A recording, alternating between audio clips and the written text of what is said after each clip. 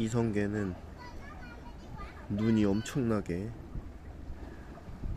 형광색 빛이 나는 그런 성게고 가시가 굉장히 날카로워서 지금 손을 여러 번 찔렸어요. 그런데 이 성게는 만만합니다. 갖고 놀아도 돼요. 이 성게가 되게 많은 편이고 이 성게는 조금 귀하네요. 오, 얘는 진짜 아파. 맨손으로 절대 못 만집니다. 얘네는 편하게 먹는 거, 먹는 성게 편하게 만질 수 있습니다.